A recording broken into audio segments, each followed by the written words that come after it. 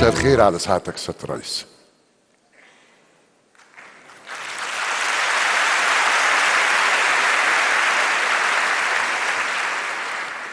مساء الخير على حضراتكم جميعا. أنا فخور وسعيد إن أنا بشارك في حكاية وطن حكاية مصر أم الدنيا. اللي سعادتك حلمت دايما بإنها تبقى قد الدنيا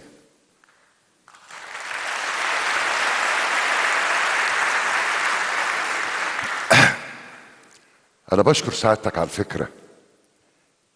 فكرة إن إحنا نحكي الحكاية. لأن المصريين كانوا محتاجين يعرفوا الحكاية. يعرفوا كنا فين ووصلنا لإيه. يعرفوا نتيجة عملهم وصبرهم وكدهم. لأن اللي حصل في عشر سنين مش مجرد إنجازات دي فعلا معجزات. وبعد ما سمعنا الحكاية اسمح لي أشكرك باسمي وباسم كل مصري ومصرية على شجاعتك وإخلاصك في العمل وسعة صدرك على حسن أخلاقك اللي صارت قدوة لينا ولأولادنا على ثقتك وإيمانك بينا وتوكلك دايما على الله. النهارده أنا مش بشكرك لوحدي. أنا معايا ملايين المصريين.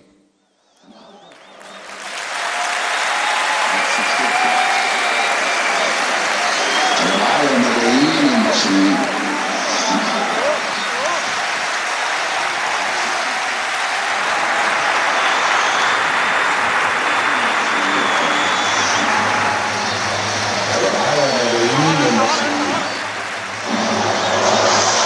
جوه وبره في القرى والنجوع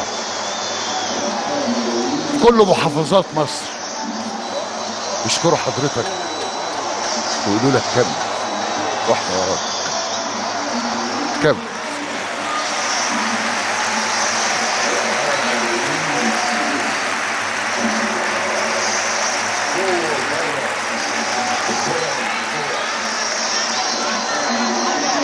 شكرا سيادة الرئيس شكرا جزيلا. أنا اللي بشكرك يا أستاذ. بشكرك على المساهمة بتاعتك وكلامك الجميل في كل المواقف وفي كل ال- المشاهد اللي اتعملت مش النهارده بس حتى في اللي قبل كده. أنا اللي بشكرك باسمي وباسم كل المصريين. في الجهد الكبير والوعي.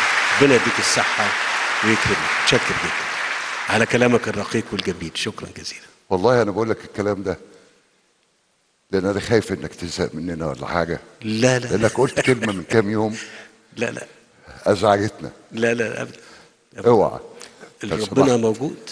ربنا موجود. أوعى بس. شكرا. جزيلا. شكرا أستاذ. شكراً. أستاذ.